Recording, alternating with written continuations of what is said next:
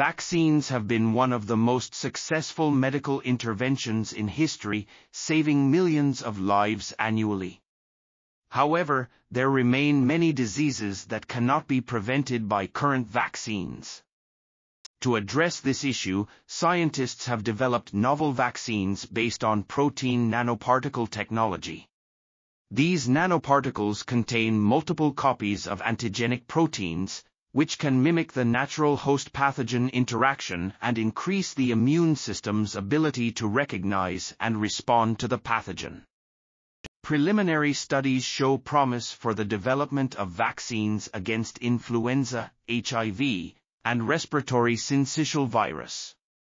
Additionally, combining these nanoparticles with structural vaccinology could lead to more effective vaccines. This article was authored by Jacinto Lopez Sagaseta, Enrico Malito, Rino Rappuoli, and others.